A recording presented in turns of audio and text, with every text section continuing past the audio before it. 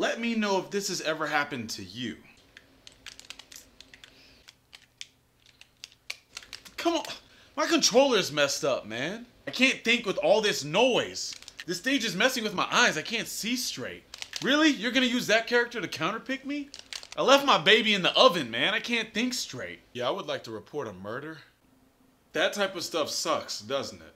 Alright, so that type of stuff happens a lot.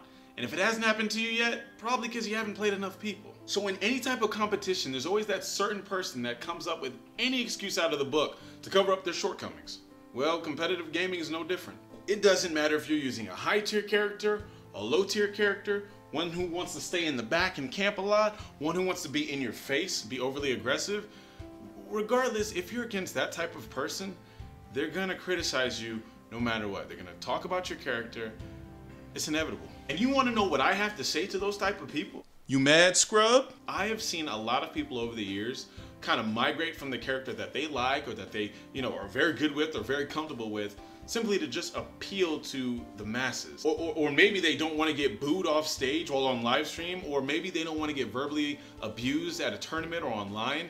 And all that stuff is honestly disgusting. Not playing the character you want to play just to appease an audience is not only decreasing your ability to win that match, but to be a better player overall. If you want to play a high speed, in your face, fast paced character, play Sheik, play Captain Falcon, play Fox, play, play whoever you want.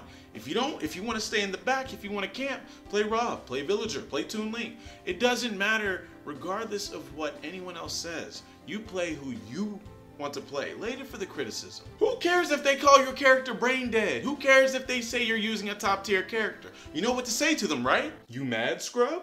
I mained Meta Knight in Brawl. You want to talk about criticism? In the early days of Brawl, you couldn't go to any tournament using Meta Knight without somebody coming after you. Without somebody saying your wins weren't yours, they were the characters. Without someone saying, oh man, this is BS, you're using a crutch. There was a time where they banned that character pretty much nationally.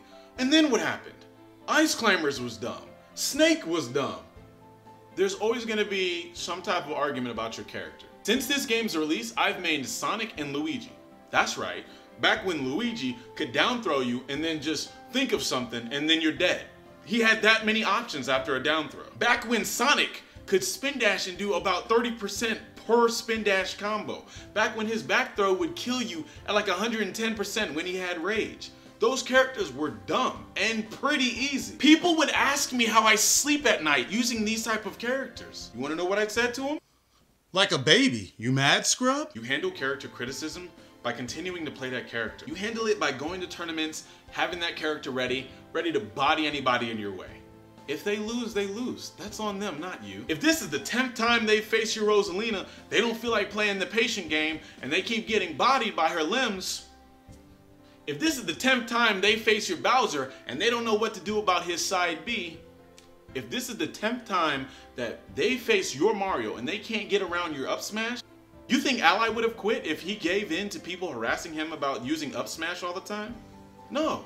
What do you think he does? He continues to up smash. He up smashes religiously. He up smashes into an up smash. Look, if someone's a jerk enough to constantly use your character as the reason why they lost, then inside of them is something you cannot change. No matter if you switch off your character or not, they're still gonna have that excuse waiting for you. It is up to you to have that discipline to keep on trucking with your character to be the best that you can possibly be. Ignore what the internet trolls say, ignore what the peanut gallery has to say. Disappointing people who want you to lose anyway, that doesn't matter.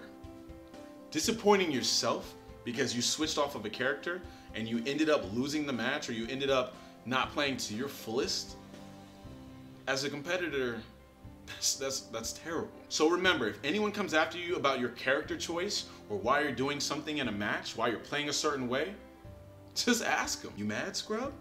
I just wanted to make this quick video for you guys because I've seen this happen so many times over over such a long time. Not even just in the Smash community, but in the FGC as well. I've seen it in Street Fighter, um, back in MVC 3, before Ultimate, you know, back when Phoenix was extremely broken, the most retarded thing in existence. I've seen it. I've seen it. But even people, when people say these things, don't let it deter you.